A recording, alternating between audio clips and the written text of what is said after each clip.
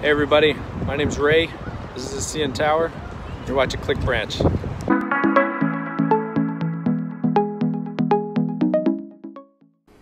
Now that we have our data loading and showing, the next thing we need to do is give the users the ability to actually interact with the data, which means give them the ability to start making selections and uh, refining the data that's shown uh, in order to try to discover their own insights. The way that we're going to do this with this data set is we're going to create some filters up on the top that the users will be able to click into and um, the data will update automatically. So to get started, the first thing that we're gonna do is we're gonna take an image that we're going to need. Uh, this is a separator image, which is basically just a, um, a, a, nice gradient line in between the title of the filter and the actual list of in, inside of the filter itself. Uh, the next thing that we need to do is we need to update our Enigma service and we need to create um, a new function called get list. And this get list will take a field, which is the name of the field that we're looking to get the data from, uh, and a callback, which is very similar to uh, the Hypercube uh, callback that we had before. Um, this is all, everything that's happening with the list is going to be pretty familiar uh, if you've already watched the video on uh, getting Hypercube data. So the first thing we're going to do in here is we're going to create a list object definition object. Yes, we're going to create a list definition object, um, which is going to look a lot like a Hypercube definition object, uh, just with some different uh, properties inside of it. So we're still going to have our Q info with a Q type, and we're just going to say field list. And then we need a Q list object def. And uh, this is what tells uh, the engine that we're actually looking to create a list instead of a hypercube. So here we'll have a Q def with Q field defs inside of it. And this will be an array of the fields that we're looking for. So we'll just pass in the field name that we get passed in uh, into the function itself. The next thing we want to do is we want to specify some sort criteria. And the reason we, we want to do this is because we want to let the engine handle the sorting so that the front end doesn't have to. The first thing we're going to sort by is uh, state. And we specify a value of one because we say we want to sort in uh, ascending values. So when you do Q sort by state and you specify one, you're going to be sorting by your selected values first. Uh, then it's your uh, alternative values, your available values, and your excluded values. Uh, the reason why we're sorting by state is because uh, it's going to become more apparent once the selection is actually being made. But uh, when they make selections on their field values, we want the selected ones to come up top and the excluded ones to go to the bottom. Uh, we basically want to group our uh, values by their state to make it easier to see what's going on with the data. The second thing we're going to sort by um, is sort by ASCII. And sort by ASCII is just a way of saying we want to sort by uh, alphabetical order, alphanumeric order. Uh, so we specify a value of one there too, because we also want that to be ascending. Uh, we are going to say a Q show alternatives is true. Now what Q show alternatives does is it tells the engine that in this, when you give me back this list, I don't want just the uh, selected or available data because if Q show alternatives is false, uh, it will only return the data relevant to the data set you're looking for, uh, to, to the data you've selected. But instead, we're saying show alternatives because we actually want to see all of the data um, with their relevant state uh, attached to them. So that's why Q show alternatives is true.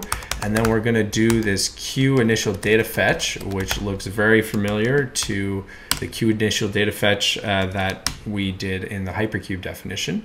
Um, and it does the exact same thing. We do Q top of zero. Uh, we're gonna do a Q height of 10,000. And the reason why we do, we probably don't need to do a Q height of 10,000 because the um, there's likely not 10,000 unique values uh, in any of these fields that we're going to call. Um, but I do this to illustrate the point that uh, any hypercube or list that you get back from the engine has a maximum of 10,000 data points. Uh, so by doing Q height of 10,000, we know that we're going to get, with a Q width of 1, we know that we're going to get uh, the maximum amount of values available uh, in this field list. So now that we have our um, our list, our, our uh, list object definition created, we're going to do pretty much the exact same thing as we did uh, with the hypercube. So we're going to create a new list object um, by calling document.create session object and passing in our uh, properties. And then we're going to say uh, if there is a callback, then we want to uh, call this changed function. Uh, we sorry, if there is a changed event, uh, then we want to call this callback. So we do this callback with a list object. And then finally, we're going to actually call the callback last. So that uh, is our new function inside of our Enigma service. So the next thing that we're going to want to do is we're going to actually want to create the filter component, which is what is going to house um, all of the individual um, values for each filter that we create. So the first thing I'll do is I will uh, add in some CSS here.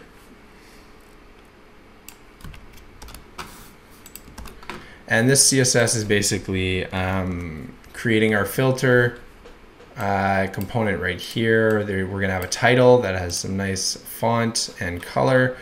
Uh, we wanna update the content. We wanna make sure that uh, we have a scroll bar available so uh, that it will vertically scroll.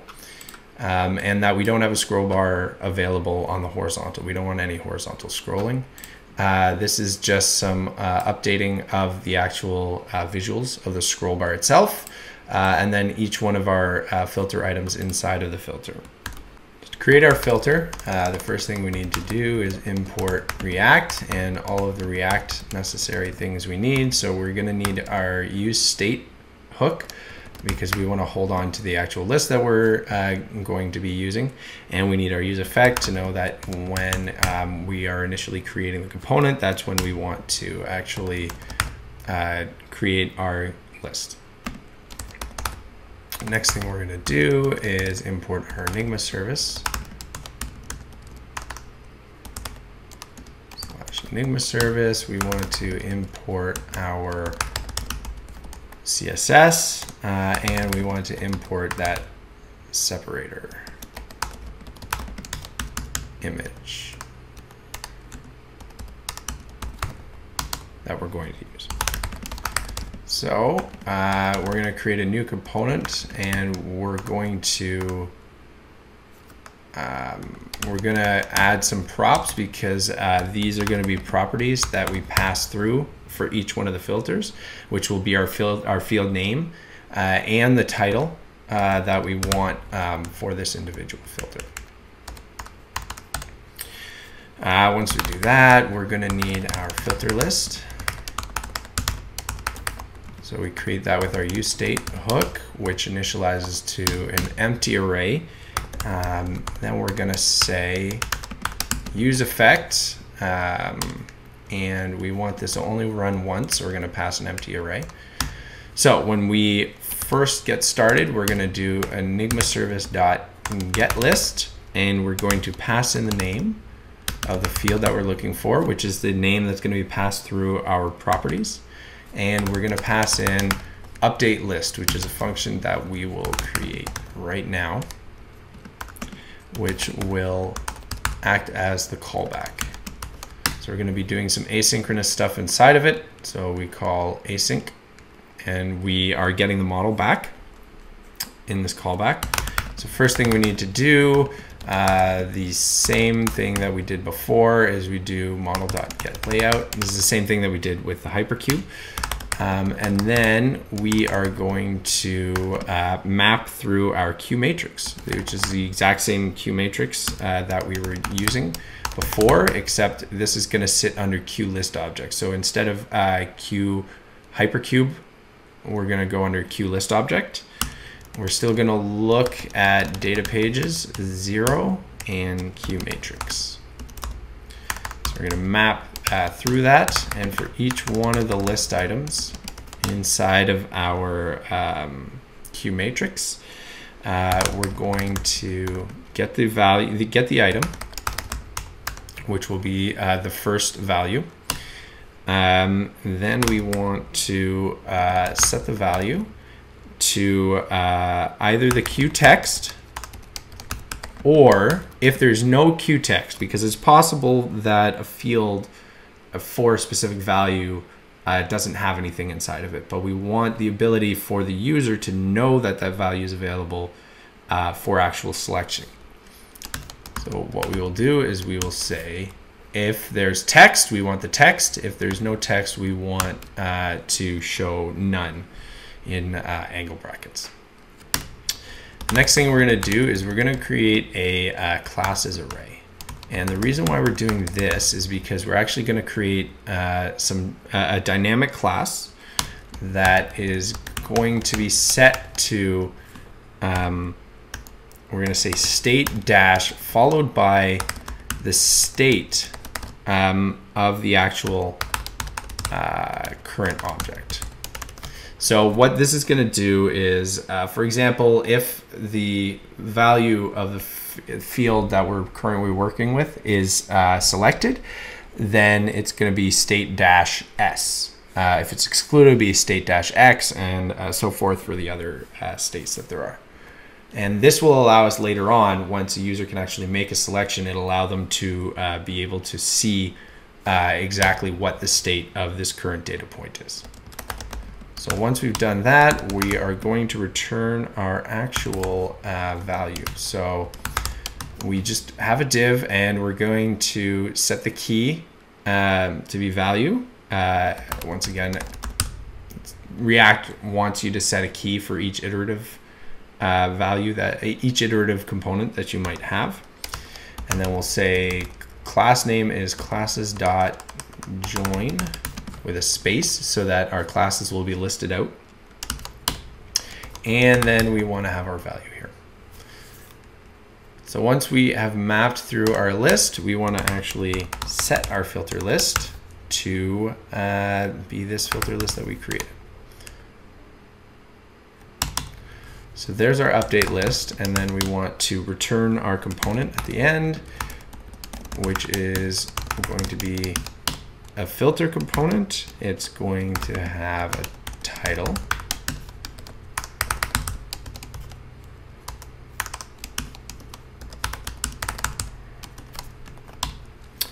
And we're going to have our separator image. We don't actually need any alt text because it's just a separator image. There's no relevant uh, text as to what this image might be. And then we are going to have our content, which will be our list of filter components. Perfect. So that's our filter done. Now we are going to need a um, main component that houses all of our filters inside of our header. So we're going to create a new component called filters with an S. We're going to pluralize that one so that we know that this is the one that's going to house all of the filters.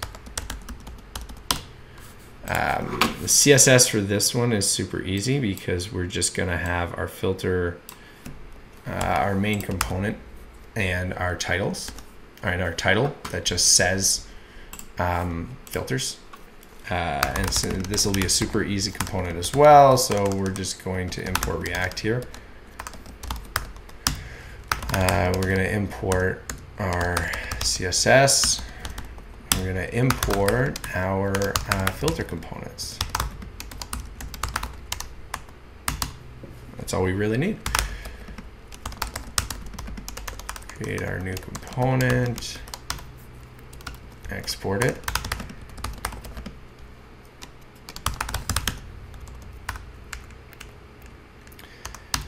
And the only thing this will do is this will return a filter. Uh, this will return a div, class name of filters. Uh, we're gonna have our title container.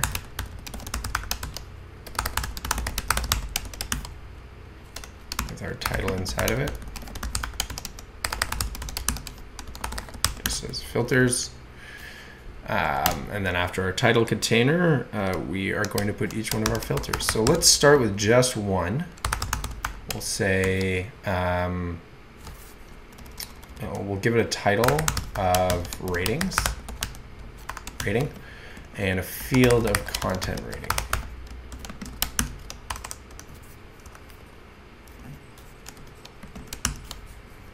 Perfect. So we have this, and let's go into our header and import our new filters.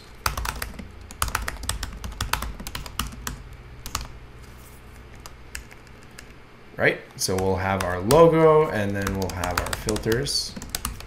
Um, and then we're gonna add a quick empty div in here. This will just be uh, the div uh, for uh, some later components that we're going to create. And the only reason I'm adding this div in right now is just so things look a little nicer over here so that this final div will be over on this side. Our filters are right here and we can see that we have our ratings filter that we just created.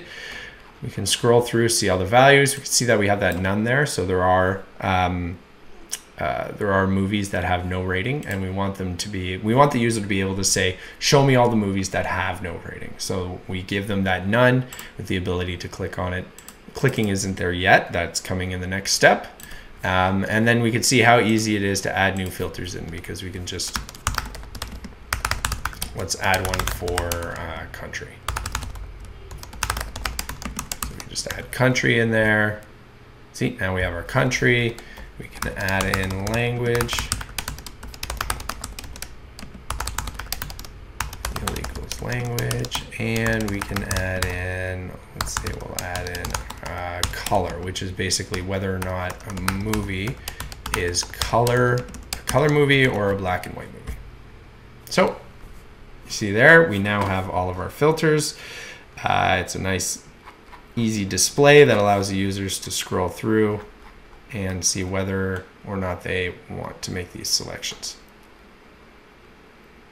So to recap, um, we've now created lists with the engine. We've done this by uh, creating a definition, a list definition that specifies our field. We've added some sorting in, uh, and then we do the same thing of creating a session object, subscribing to the changed event with a callback. And then in our callbacks, uh, what we do here is we do our get layout uh, to grab the layout uh, that has our data inside of it. We map through our list uh, of values in order to create our individual components uh, that get outputted into these lists. So next up, we're going to be uh, actually making these lists clickable and allowing the user to make actual selections inside of our Qlik app. So uh, if you enjoyed the content of this video, please remember to like. Uh, you can also subscribe and update your notifications so that the next videos that we put out will show up on your list in YouTube. Uh, please feel free to join the Slack channel. Uh, it's a great channel uh, full of Qlik uh, power users that will help you out if you have any trouble with what's going on. Uh, visit developer.qlik.com. We've got a whole bunch of open source uh, projects and extensions uh, and knowledge items sitting on that website to help you through your learning journey of Qlik itself. And we'll see you in the next video.